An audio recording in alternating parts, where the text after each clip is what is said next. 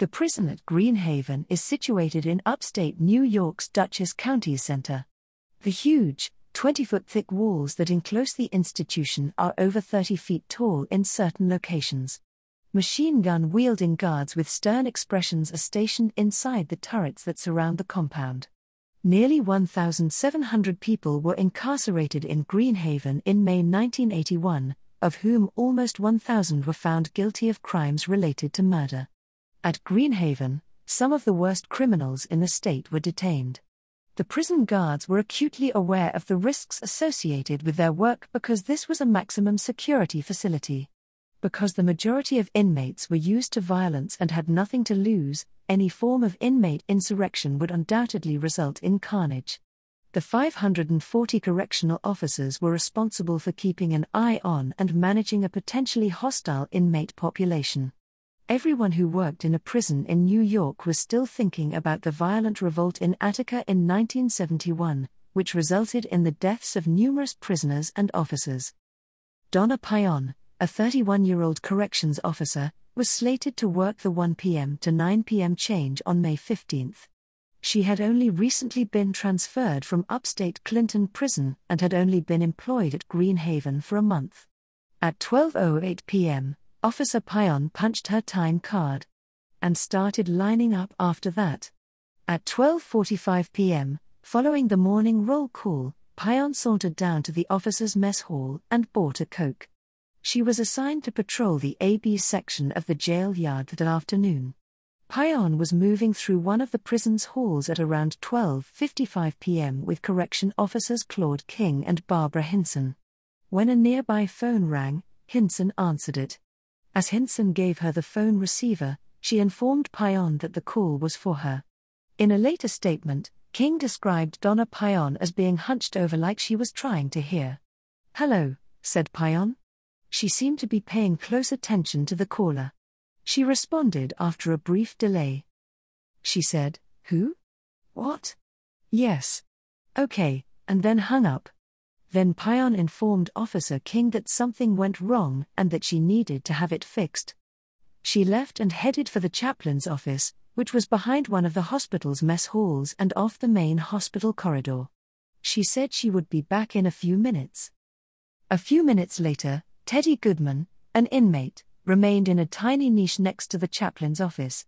Goodman had been incarcerated at Greenhaven since his conviction in the Bronx murder of his business partner in 1977.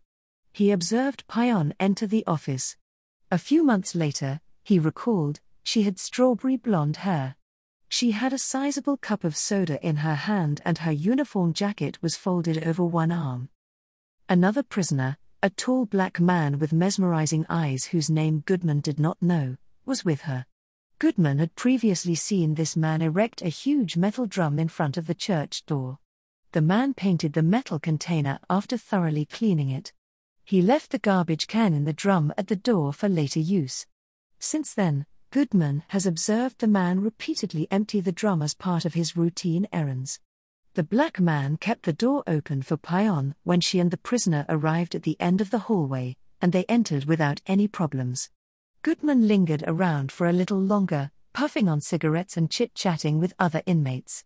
Around 2:45 p.m., he went back to the chapel entrance. Goodman went to empty some trash when he saw the trash can was gone. A roll call was conducted for new assignments and shift changes for some correctional officers at 6 p.m. in the turnout room. Along with the other guards who were supposed to leave for the day, Donna Payant was scheduled to report for her next job. She failed to appear. Correction Officer Donna Payant's inability to show up for her roll call at 6 p.m. was reported to prison authorities right away. At first, guards made phone calls all throughout the institution in an effort to find her. She was new to Greenhaven, thus, it was speculated that she might have become diverted for an unforeseen reason. However, managers picked up on the issue right away. Payant never showed up for any of her afternoon responsibilities, they found out. In a prison, not responding to a task is a significant offense.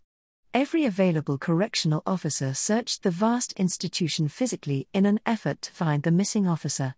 There was no sign of her by 8 p.m. The warden issued an immediate lockdown order, which keeps everyone confined to their cells until further notice. The search went on into the tense evening.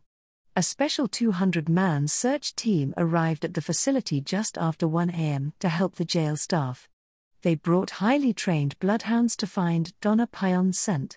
The dogs continued into the A and D blocks and along the east and west corridors. Despite being escorted into the medical area, they made no clear reactions. The chapel area was not visited with the dogs. Outside the mess hall, two enormous dumpsters could be seen in the jail yard. Some of the waste produced by the factory was dumped in these containers. In fact, two cops went through the foul waste in the metal containers without discovering anything. Hundreds of state police, guards, and prison employees scoured every inch two of Greenhaven all night long in search of the missing correction officer as lights remained on. She seemed to be nowhere to be found, which seemed impossible there were some who even believed she had entirely escaped the jail without being spotted. But after finding and speaking with every gatekeeper, officials promptly ruled out that option. There was no possible way for an officer to leave the prison unnoticed. Each cell block was first thoroughly searched by guards, and then each individual cell. The industry buildings were searched from the roofs to the cellars, and the mess halls were flipped on their sides. On Saturday, May 16, Early in the morning, a garbage truck was dispatched to empty the dumpsters. Officers watched as the garbage was thrown into the rear of the truck as it was being filled with the contents of the bins while they waited nearby with flashlights. They didn't notice anything odd. Each dumpster was cleaned out and compacted. The car was allowed to exit the Greenhaven facility after it was fully loaded. After that, the waste was transported to the regular landfill near the town of Amenia, which is about 20 miles from the prison. Peter Cooper, a civilian employee, was the driver of the garbage truck that was escorted to the dump site by two prison officers. The trash was strewn out on the ground and thoroughly investigated after the truck had dumped its load. The dozer operator saw a human leg protruding from a green plastic bag at about 10:30 a.m. Cooper moved closer to the location. He later admitted, "I saw about an inch of stomach and let go of the bag." That was it. When the police arrived, they discovered Donna Payant's body wrapped in three plastic bags. Her hands were restrained behind her.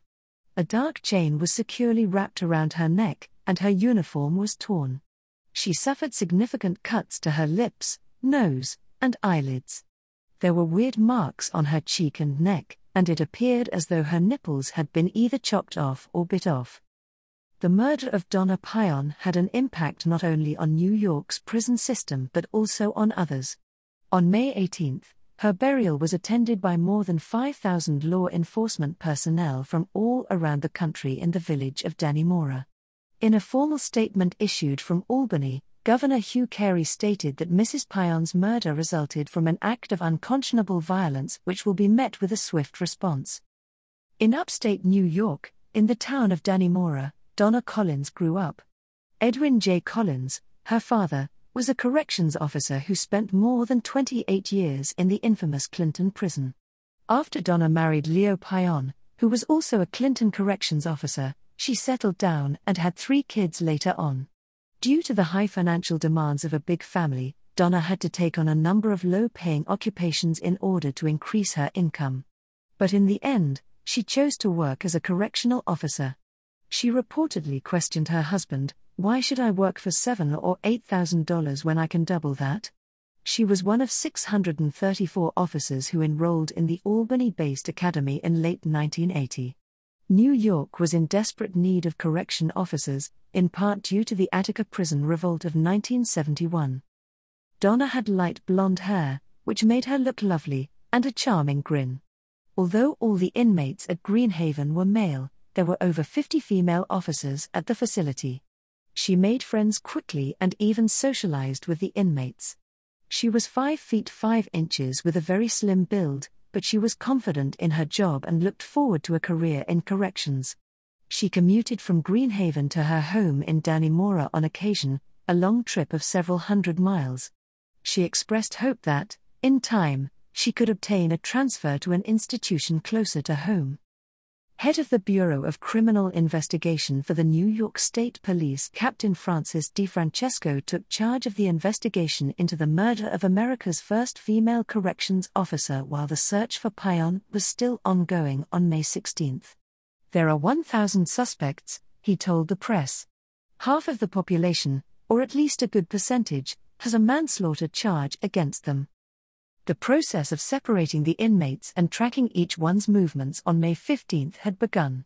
Our first priority, said Captain DeFrancesco later, went to court. It was decided that another autopsy should be performed by a different medical examiner, and Dr. Michael Baden, then a deputy medical examiner for the city of New York, was called in. He performed the second autopsy on Payant on May 19 and discovered several additional facts about her injuries. The cause of death was strangulation, achieved by a Venetian blind cord that was found tightly wrapped around the victim's neck. Payant had wounds to her skull, though not fatal, that would have rendered her unconscious. Injuries to the rectal area indicated an assault with a blunt object, possibly a wooden mop handle. Dr. Baden also concluded that the victim's nipples had been partially amputated by human bites. Although Payant had post mortem lesions that were most likely inflicted by the bulldozer, she also had several bite marks on her breast and face. Furthermore, those bite marks were of sufficient quality that Dr. Baden felt they could be matched with an assailant. It was an extremely important development since there were no fingerprints found on any of Payant's belongings or her uniform. Her ID card and badge were later discovered hidden in a closet in a distant cell block. They, too, revealed no latent prints. Hairs were found inside her belt buckle that could not be matched to any one individual. No immediate suspects and no witnesses to the event were found. After she passed away, Donna Payant would have to identify her killer. Detectives soon learned about the phone call that took Donna Payant away from her fellow officers, no witnesses came forward, Speculation was that it could have been another supervisor who made a late change of assignment and informed Payant where she should respond. However, that theory was quickly disproved when every supervisor on duty at the time of the call was identified and questions were asked of them.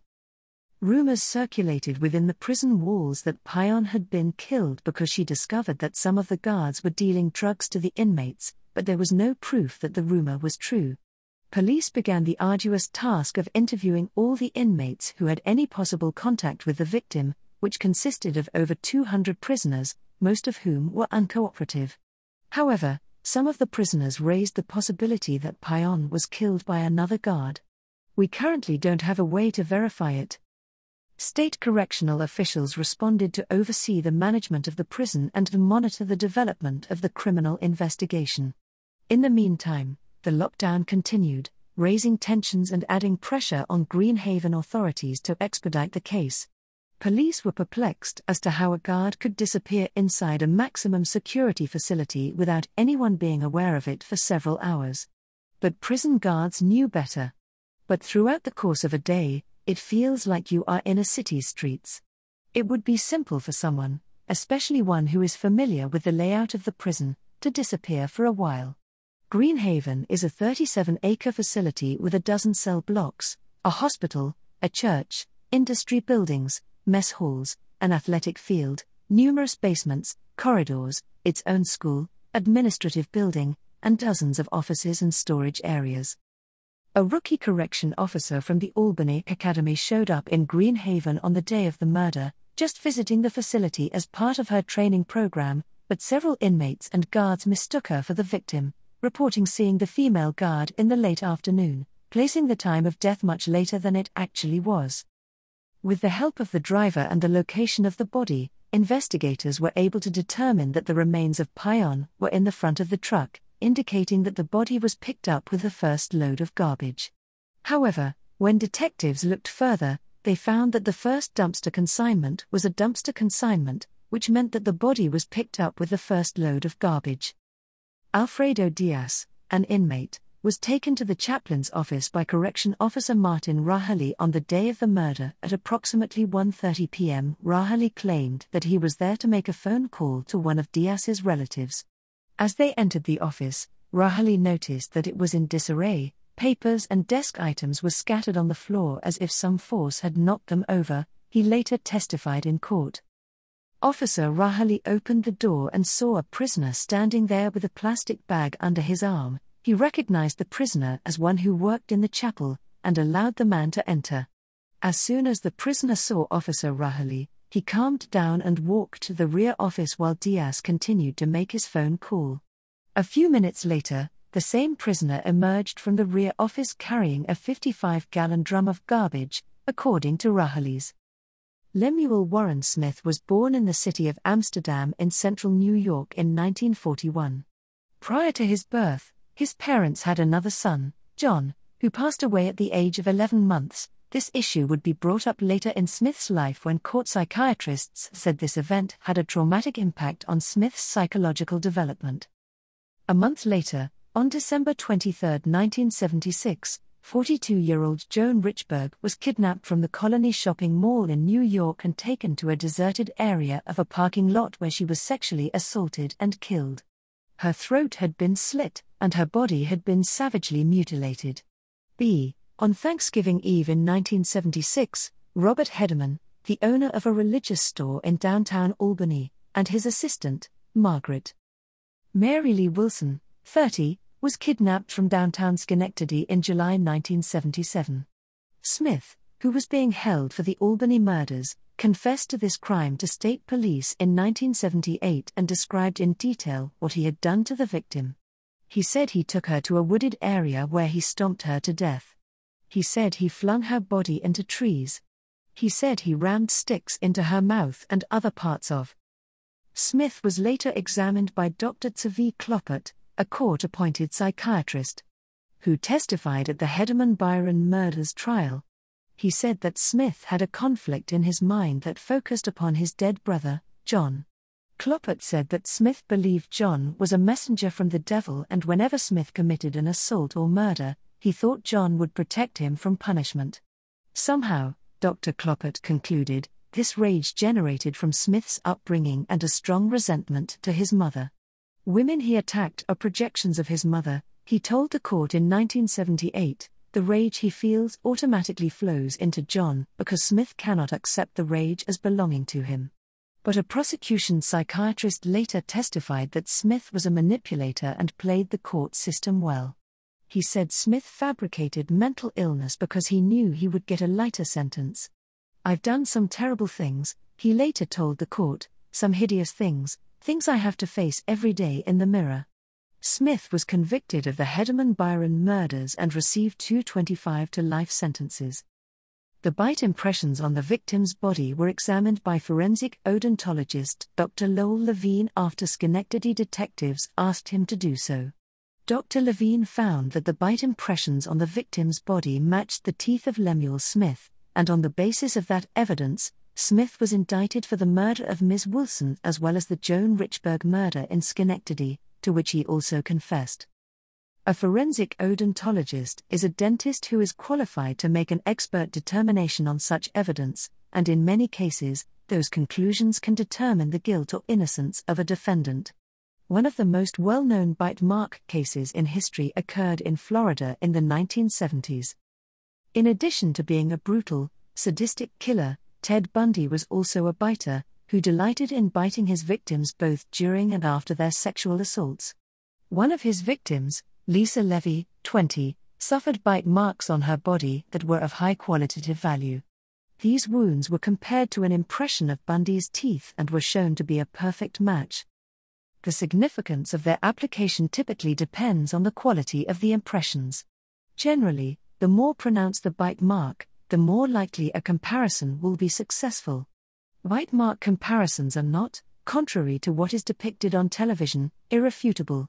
At times, they can be subject to individual interpretation due to several factors. Human skin is not the ideal medium for a bite mark.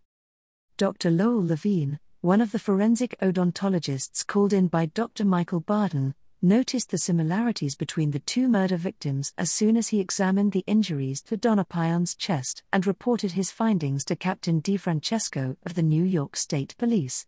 The bite marks on the body of Donna Payant matched the bite mark evidence in the Mary Lee Wilson case in 1977. On June 1, 1981, Smith was formally arrested and charged with Donna Payant's murder. Because he was already serving a life sentence, New York state law mandated that if Smith were found guilty of murder, he would be subject to a mandatory death penalty. The startling results of Dr. Levine's comparison were strong evidence against Smith, and for the prosecution, it was the last piece in the puzzle of her death. C. Vernon Mason, general counsel for the National Conference of Black Lawyers at the time, was chosen to defend Smith. Later, Mason would join New York City's Alton Maddox and Reverend Al Sharpton for the Tawana Brawley hoax of 1987. But Mason would not be alone for long. Abbie Hoffman, the political activist from the 1960s, was being held in the nearby Fishkill Correctional Facility on an unrelated drug charge. Early in June 1981, William Kunstler joined the campaign to spare Lemuel Smith from the electric chair. You ought to get into this, he said. Apparently, that was enough for Kunstler. I can say Abbie is a pretty good observer of life, he told reporters the next day. William Kunstler, a civil rights lawyer and activist who was first known for representing the Chicago Seven in the conspiracy trial of 1970 and defending prisoners accused of participating in the bloody prison riot at Attica in 1971, had a reputation for taking on unpopular and controversial causes long before 1981, so when he accepted the Smith case, it seemed natural to plan a strategy. With a white woman, a black inmate, he mused, there's enough smoke around that anyone with a sensitive nose like mine would do something about it. Kunstler noted that in a case like this one, there was a great deal of pressure to get a conviction. Smith is terribly vulnerable, he told reporters, if you want to pick a victim, that's precisely the kind you want. Lemuel Smith's Schenectady based mother, Mrs. Mildred Smith, shared her sentiments, saying, I feel he was framed to reporters for the Poughkeepsie Journal. My son is black, she added, and naturally we're always discriminated against. But there was more, and Kunstler raised the specter of official corruption, hinting that perhaps the situation was not as straightforward as the authorities would have the public believe. Guards at Greenhaven were transferred to other institutions during the murder investigation without explanation, and there were persistent rumors of an ongoing investigation into drug dealing by prison guards at Greenhaven, so it was possible, Kunstler said, that guards were involved. There were already rumors of Payant's infidelity at the prison, and Kunstler was ready to exploit those issues. We don't say these things are true, he later told a judge, we don't want to embarrass her husband or Mrs. Payant's memory. But no action of the defense team raised such fury as when Kunstler announced that the victim's reputation was fair game in a courtroom. The victim would have to be dragged through the muck to assist save her killer, though, as we have a client who is up for the death penalty. On the morning of June 10, Smith was brought to Dutchess County Court for a court appearance and when asked who he wanted for an attorney, he claimed ignorance. I don't understand what's happening, he said to the court. I haven't seen an attorney yet. That was because at that very moment, Kunstler and Mason were holding a press conference. In front of the barbed wire gates, Kunstler gasped to reporters about his new client there is no probable cause, adding that he is, in essence, a scapegoat. Lemuel Smith's defense team was informed of the evidence against their client in June 1981. Not only were there witnesses who could place Lemuel Smith with the victim at the scene of the murder, but the bite evidence was extremely damaging. Something had to be done to either discredit that testimony or get other experts to challenge the outcomes of the comparison made by the prosecution's side, so Kunstler and Mason chose to hire another forensic odontologist. At the time, Dr. Neil Reisner was a consultant for the New York City Medical Examiner's Office and a diplomat in the American Board of Forensic Odontology. When they asked me to examine the bite marks in both cases, he said in a recent interview, I knew the results would be critical. On July 2, 1981, the defense provided Dr. Reisner with a mold of Lemuel Smith's teeth and several other items. Actually, it wasn't that difficult. Lemuel Smith left a bite mark on Donna Payant's body. Then, according to Dr. Reisner, he dialed the defense team's number and spoke with C. Vernon Mason, telling him my findings. Mason asked Dr. Reisner if it mattered that Smith had lost a tooth since the Wilson murder, and the doctor responded, Not in this case. In this bite mark, the impression is only of the lower set of teeth, which is sometimes the case. Many bite marks consist of upper and lower, but some do not. It depends on a variety of variables, including the victim's movement, the biter's mobility, and other elements, he said. I know that may not have helped the defense, but that was the truth, Dr. Reisner said. It wasn't the result they wanted, but they have to realize that forensics experts are going to give the same opinion no matter who hires them, he added. Since the Payant case, he has testified in dozens of criminal cases for both the prosecution and the defense. Additionally, they never compensated me for my services. Smith was incarcerated in Downstate Correctional Institution at Fishkill during 1982 while attorneys Kunstler and Mason prepared their case. While there, he wrote letters to numerous county and state officials complaining about everything from the quality of the food, racial discrimination, and abuse from prison staff. In a 70 page letter to County Court Judge Raymond E. Aldrich, complete with chapter divisions, page numbers, and drawings, Smith claimed that his life had been made a living hell and that he had been. Smith wrote, It's quite evident that corrections personnel do carry deadly clubs, and Mr. Rojas, a prisoner who had recently committed suicide, and Donna Payant erase all doubt about corrections personnel being potential murderers. He also mused that no county judge who was sympathetic to his case could ever be re elected, and that Department of Corrections, affiliated agencies, their friends and associates have adjudged me guilty, before trial, and have become pariahs. Smith was also aware of the Payant case's significance and the contentious nature of New York's death sentence law. The death penalty laws cannot be tested unless I am found guilty, and many politicians have already taken positions in the upcoming debate, and the only hold-up is a guilty verdict in Dutchess County Court, Smith wrote in his letter, referring to her as the only female correction officer who has been murdered while allegedly on duty inside of a maximum security correctional facility. Due to the fact that the jury is to be selected from Dutchess County, where a significant portion of the population is Department of Corrections personnel, and those affiliated with the Department of Corrections, this was the case. Smith had confessed to killing at least five people, according to police investigators, and may have killed even more. Despite his claims of innocence, Smith was not exactly a typical American citizen. He had spent most of his adult life in prison after being found guilty of two brutal murders in 1977. The court had to deal with each motion, which at times took weeks to review, that Kunstler and Mason brought before it over the course of the following months, involving matters such as trial venue, applications for case dismissal, witness credibility, special prosecutor, and various conspiracy theories, most of which involved prison guards murdering Payant to silence her about renegade correction officers. However, the defense had run out of options by the end of 1982, and the trial was finally set for January 1983.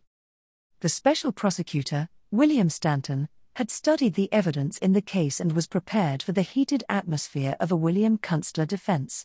The DA's office knew that Payant's reputation, the conduct of the guards at the facility, and the state's investigation into Greenhaven would be the issues to be explored. However, prosecutors were confident that Lemuel Smith was guilty.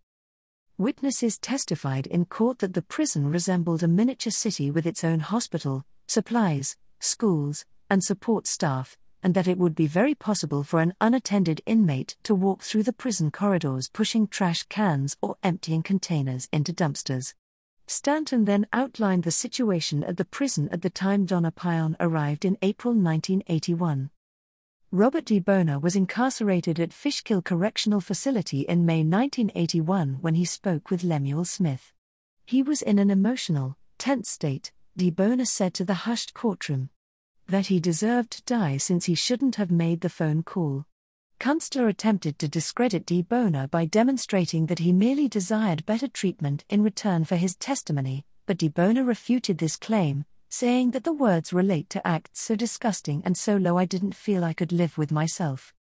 Teddy Goodman, the prisoner who loitered outside the chaplain's office on the day of the murder, also gave testimony when Stanton showed him a picture of Donna Payant, Goodman had no trouble recognizing her. This is the woman I told you I saw go into the chaplain's office with Smith, he said.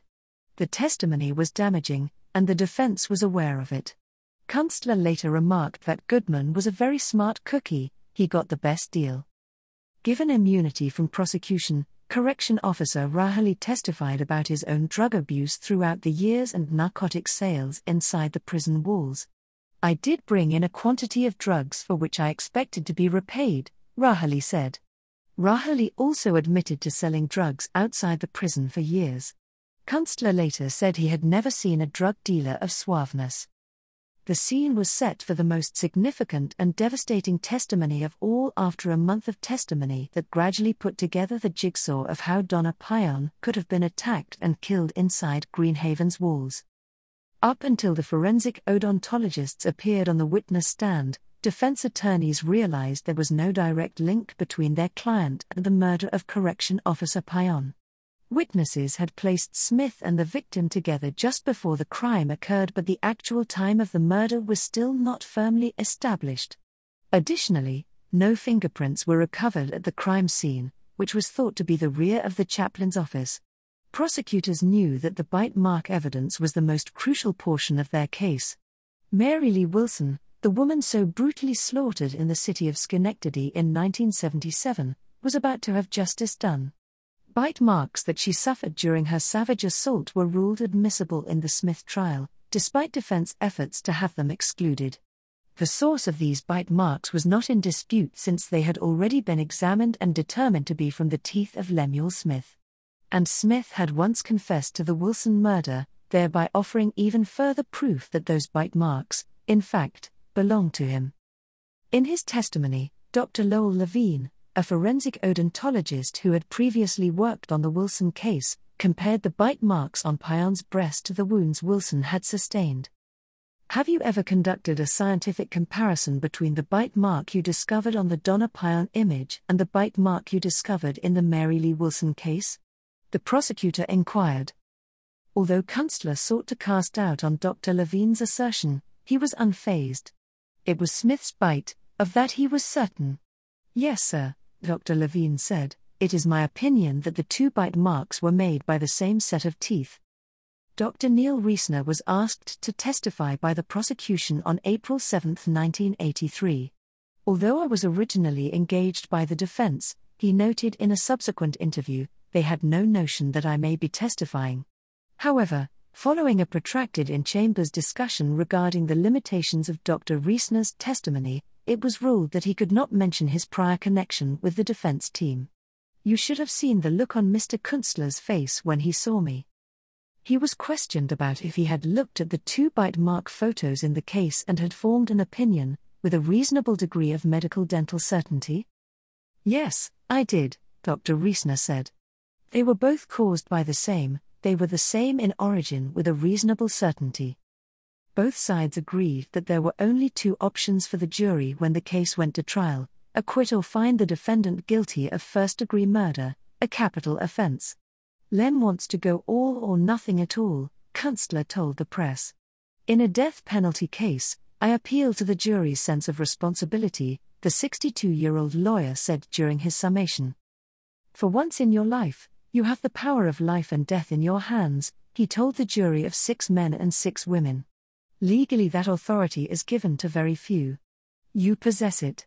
Consider the total implausibility of the crime taking place the way the prosecution claims it did, Kunstler said, and use it wisely so that you can leave this with your heads held high. Conspiracy theories were offered by the defense because it was the only evidence they had, according to prosecutor Stanton, who focused on the issues that had already been established. They just threw these things out, hoping one or two of you would latch onto them, he told the jury. Stanton referred to the crucial bite mark impressions on the victim's breast as the only way she could have entered the courtroom, through photographs taken during her autopsy. Through it, she is telling us the defendant is the one who beat me, the defendant is the one who bit me, the defendant is the one who killed me. When Smith was escorted from the courthouse at the conclusion of the day's proceedings, he said to reporters, if they got any sense, they'll acquit me. Stanton said, I had no doubt from the start that Smith was guilty. The jury was given the case for deliberations on April 17. Over the course of the following four days, jurors considered the evidence. On the morning of April 21, a verdict was reached. Smith was found guilty of murder in the first degree and faced a mandatory death sentence. Smith offered to shake the hands of the prosecutors after the verdict, but they all declined, saying that it would have been disrespectful to Donna Payant's memory and what he had done to her. He killed this woman, he's killed others, one of the prosecutors later told reporters. Smith responded to no one in particular, I feel good, as the correction officers led him out in handcuffs. I am at peace with God. Smith, however, couldn't or wouldn't explain how his bite mark was discovered on Donna Payant's body. The New York State Court of Appeals rejected these arguments in People v. Smith, 63 NY 2D 41, decided on July 2, 1984. The majority of the defense's appeals, which were filed with the state of New York after the trial, related to the admissibility of the evidence and statements made by Smith in prior criminal cases.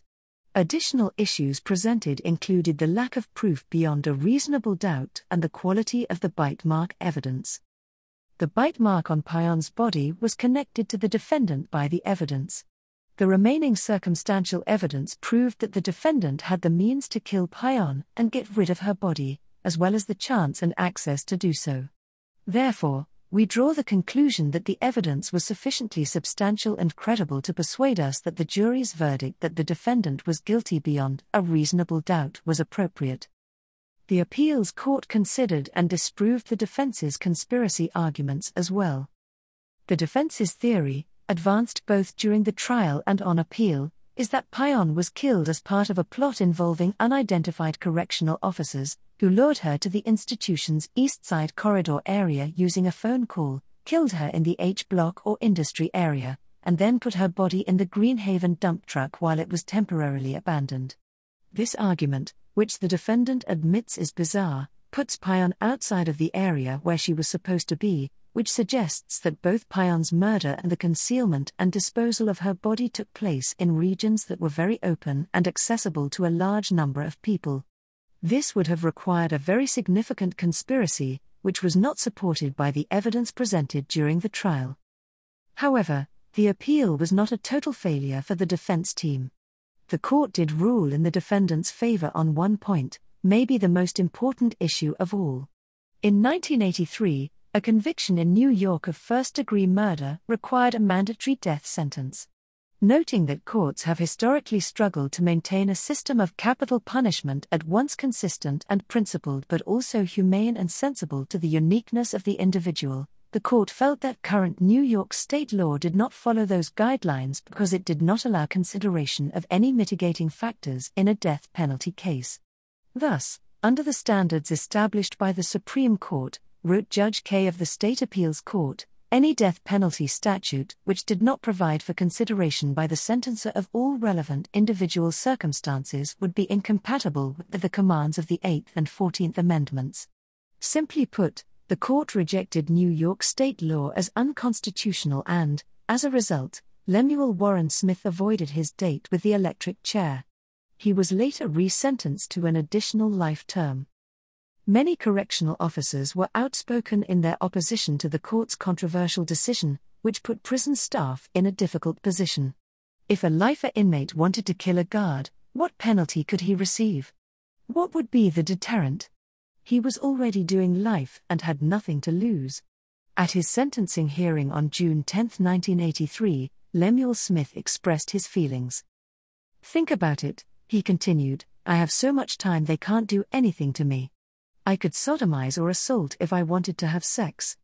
They are powerless to harm me.